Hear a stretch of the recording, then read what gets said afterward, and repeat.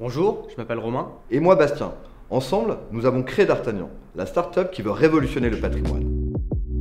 Un coup d'éclat qui fait les gros titres de la presse française d'un financement participatif hors du commun et qui passionne même les médias étrangers. La majestuosa construcción está abandonada. Rettung naht jetzt aus dem Internet. Dort kann man schon mit 50 Euro. Il existe en France plus de 600 000 monuments, mais malheureusement, leur état ne cesse de se dégrader par manque de financement et l'absence de modèle économique. Pourtant, le patrimoine est le pétrole de la France. La preuve, plus de 90 millions de personnes visitent nos monuments chaque année. L'achat du château de la Motte Chandonnier, dont D'Artagnan a conservé 20% des parts, est un pas de plus vers notre vision. Créer la grande communauté du patrimoine, un National Trust à la française, telle qu'elle existe en Angleterre, avec ses 5 millions de membres et ses 600 monuments. Le patrimoine doit se transformer pour se rentabiliser.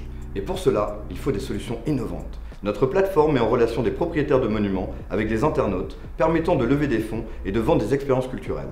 En deux ans, 4 millions d'euros collectés auprès de notre communauté de 100 000 passionnés. Nos prochains grands projets? Acheter collectivement des monuments et s'en servir comme support pour proposer de nouvelles activités et bien sûr les faire vivre. Et si vous voulez découvrir nos expériences culturelles et celles d'autres monuments, un tout nouveau site va sortir. Cette plateforme permettra aux touristes, qui seront 500 millions de plus dans 10 ans, de découvrir de nouveaux lieux et de nouvelles histoires, et au patrimoine de se préserver.